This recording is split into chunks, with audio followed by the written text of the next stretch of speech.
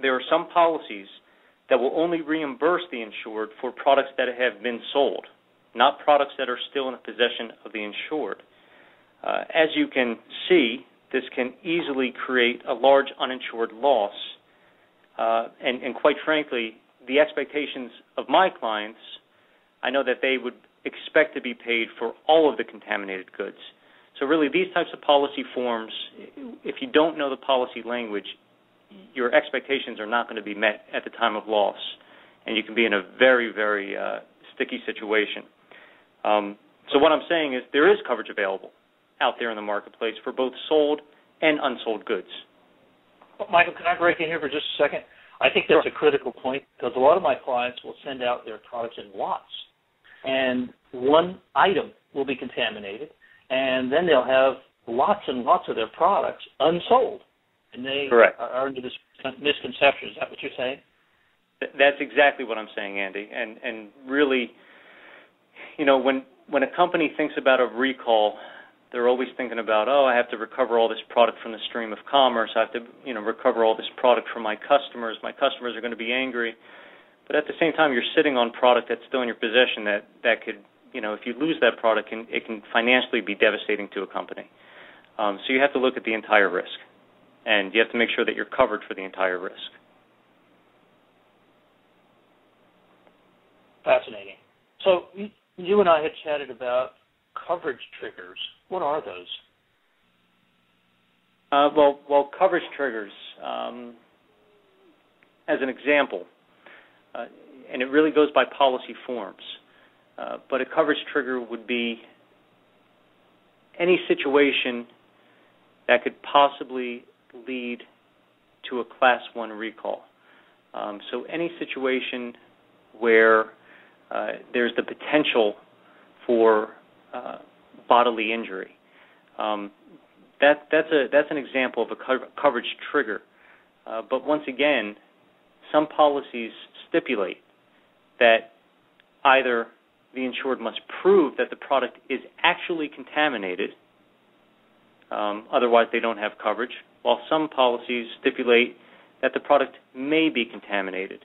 Uh, as you know, Andy, there's been uh, there's been some recall scenarios in the food industry over the past couple of years where companies have suffered even when their product has not necessarily been contaminated, but they've been roped into uh, a recall scenario where where they're losing sales because uh, because they're they're you know there's press out there that their product may be contaminated. Um, so that's an example of a coverage trigger. Super. So you had mentioned before that there are differences in other types of areas in your policies, like what did you say, limits and how they're applied and other things. Sure. Yeah. I mean, beyond beyond the issues of coverage triggers and and what types of goods are covered, uh, like we spoke about before, how sometimes uh, some policies will only cover sold goods and some policy will, policies will cover sold and unsold goods. Uh, there's there's many of other uh, many other differences between policy forms, such as limits, uh, like you said, limits and how they're applied. Um, there's also difference. There's differences in the warranties and the conditions that must be met by the insured in order for coverage to exist. Um, there's limitations, uh, policy limitations uh, that are different one form to another. There are a number of exclusions uh, that are different from one form to another. Um, and also, even during the application process, uh, there are differences from one insurer to another. Um, for example, there are some insurance companies out there that will make you list your products, and you're only going to be covered for those products that are named on that list. So if I have a client who is selling apples and only apples, um, and they name that on the application, and then six months down the road, they decide to uh, sell bananas, and they forget to mention that to the insurance company, there's no coverage for the bananas. Uh, while while some um, some insurers will will make uh, some room for error there. So that's an example of, of another difference. Well, it, it, certainly leads to the conclusion that these my clients, the food producers, really need to keep in touch with their insurance broker and really keep an eye on their policies and, and read every comma and every period and every may and shalls. Hey, I wanted to cover one issue in the minutes remaining. Sure. You had chatted with me earlier about a five thousand dollar credit from their insurance premium for a mock recall exercise. Can you w- walk us through that real quick? Sure. Uh, like I said at the beginning of our conversation, even today on this phone call, uh, you know, we've developed, we've we here at Capitol Risk, we've developed a number of, of programs and policies that are exclusive to our clients in the food industry, and we've even gone outside of the, uh, I guess the the insurance contract to even, you know, try to bring more value to our clients. Uh, and one thing we noticed that our clients were struggling with is to actually construct a well-designed, uh, effective recall plan, uh, a, a, plan that really needs to be understood by everyone within uh, an organization.